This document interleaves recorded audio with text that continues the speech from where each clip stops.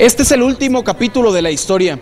Me encuentro en el portal de Ceballos. Este edificio alberga el recuerdo de la firma de los tratados de Córdoba. Aquí se consumó la independencia de México.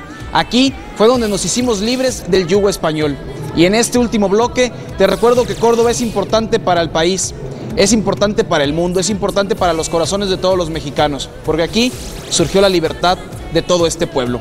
Vamos a checar esto que es el punto de vista y continuamos con más cerca de ti.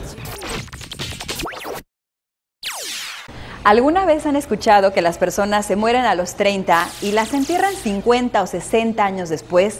Tiene que ver con que a los 30 muchos jóvenes han pensado que es tiempo de madurar, de hacer cosas ya más concretas, de empezar a ser más redituable en la vida, de tomar responsabilidades, cuando que en realidad los sueños no son para guardarse, son para realizarse. Por eso dicen que nosotros no somos el resultado de nuestro pasado, somos la materia prima con la que soñamos. Más nos vale tener grandes sueños para de verdad esforzarnos. Y es que también más nos vale reunirnos de gente que tenga unos sueños más grandes que los nuestros. Podría citar aquí a Oprah Winfrey, que alguna vez dijo, mi éxito en la vida está en que en lugar de rodearme de personas que me decían ¿y por qué? o como para qué, me rodeé de personas que siempre me preguntaron ¿y por qué no? La pregunta hoy sería, ¿de qué tamaño son tus sueños? Porque en eso te estás construyendo. ¿Y qué esperas para realizarlos? No hay día ideal, no hay momento especial, la vida es hoy y no te va a esperar. El momento ideal es cuando empiezas a actuar y vas a estar listo cuando empieces a hacerlo. Los miedos se terminan en cuanto los enfrentas. Así que espero que sepan valorar sus sueños y sacarlos del baúl de los recuerdos. Para empezar a concretarlos, se trata de bajarlos a una agenda.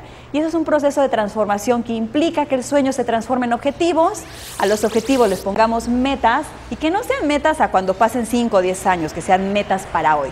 Así que si nosotros somos los sueños con los que soñamos, empecemos a tener grandes sueños para que de verdad podamos realizarlos.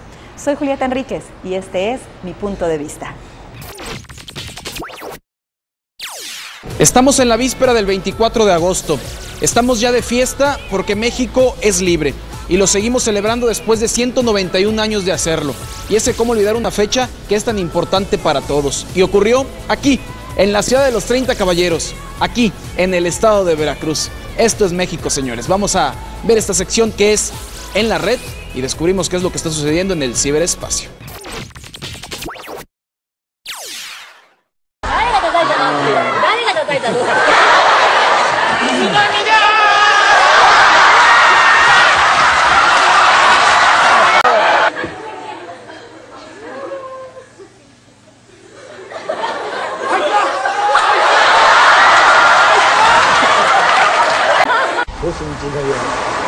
Oh!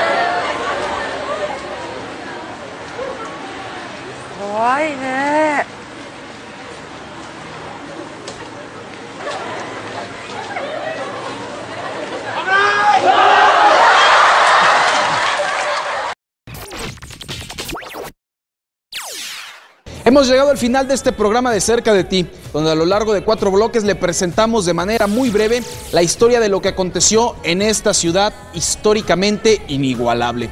Quiero agradecerle a Martín, también a Cristian, a Santiago y a Mario por estar con nosotros en esta transmisión ser parte de este grupo que les llevó a ustedes una representación de la historia que acontece en Córdoba y que si muchos no conocían, ahora ya conocen. 24 de agosto, mañana, será un gran día para los cordobeses, de manteles largos, de fiesta. Agradezco a todos los que hacen posible cerca de ti, pero sobre todo a usted que nos ve a través de su pantalla. Hemos llegado al final de este programa, acercándonos hasta donde usted quiere, nos vemos por Televisa.